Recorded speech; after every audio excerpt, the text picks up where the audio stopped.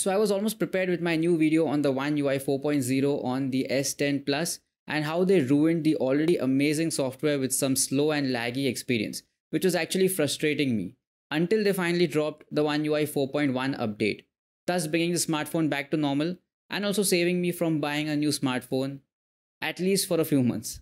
So here's me telling you some of my favorite newly added features on this 3 year old smartphone and also the reason why Samsung is truly the king of Android. Stay tuned.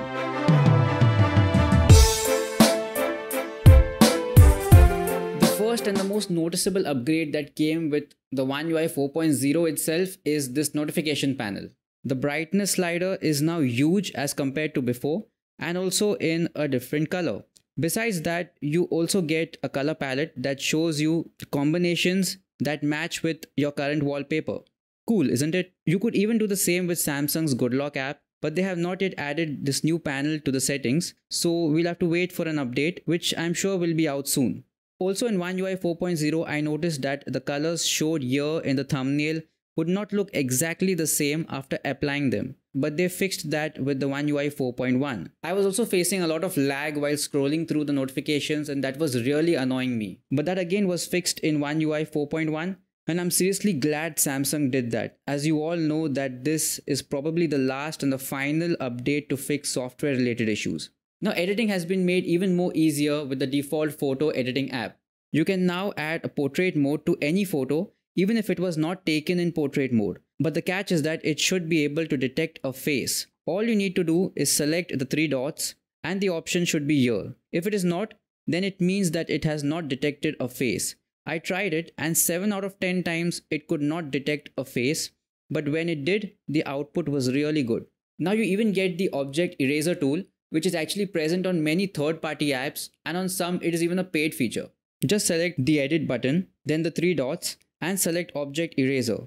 Now obviously it won't work as good as it would on Photoshop for PC, but it is really helpful for quick removal of easy stuff. Like for example the photo here, I can remove the dustbin in the background. Although if you zoom, you'll see some smudges, but definitely not very noticeable. You even get some funky new styles that you can use for your display, pictures and much more. The next is smart widgets. Now we all know that Android 12 has given a lot of importance to widgets to your home screen, but what if you had too many to fit in? Well this time you can club 2 to 3 widgets together based on your usage. All you need to do is hold on the home screen, select widgets, then smart widgets. Now from here you need to choose the preset and then you can choose the widget that fits in that like here I clubbed the calendar and the reminder widget in one. All I need to do is swipe on the widget to access them and according to me this is a great feature now the one ui 4.1 has also brought a lot of improvements to the samsung health app and if you have a wearable device like the galaxy watch 4 and if you're a person who likes to keep track of your walking and running sessions then you'll benefit the most out of it. This also calculates your sweat loss during your running session. If that is something you want to know the body composition feature has also improved. For those who do not know, body composition is a feature that is calculated using the Galaxy Watch 4 where it gives you accurate information on your body mass, your skeletal muscle, your weight, the body water, etc. Later in a few months, I'll also be coming with my long-term review of the Galaxy Watch 4 where I will be including all of this information in a little more detail. The next is Find My Device. Now in Find My Device, you will be able to scan your phone nearby even if it is in offline mode but mind you that can be done by only another Galaxy device. Not a very helpful feature but now you can even find your wearable devices even if it is offline. And this could be very helpful. The next is Wi-Fi sharing. Now you'll be able to share your Wi-Fi network with your friends or strangers in case of an emergency without giving them the Wi-Fi password. Just select the settings of that particular network, select QR code, then quick share, then share using your code. Now all the person has to do is scan this QR code from the Wi-Fi settings Later, you can even stop sharing the Wi-Fi anytime. The next is sound balance and I think this was a missing feature for all smartphones as you had to download third-party apps for that. Jump into accessibility in the settings, then select hearing enhancements. You can adjust the balance of both the earphones as well as the default speakers. And you also get the option to switch to mono in case you do not want audio in stereo or even if you are using a single bud and this is something that was really needed. The next and the most hyped feature is virtual RAM, which finally came with One UI 4.1, and I was not expecting that on the S10 series, but Samsung finally did it. You can access that by selecting device care, then selecting the memory option, then select RAM plus option, where you get to choose from 2 to 8 GB of virtual RAM for better performance. I'm not sure if this is effective or just a gimmick, but I can definitely say that the phone feels a lot smoother than it was after the One UI 4.0 update. No lags or stutters, just like how it came out of the box. Now guys, let me talk about something really important and that is the battery life. Let me be very honest. No major software update can increase the battery life of your smartphone.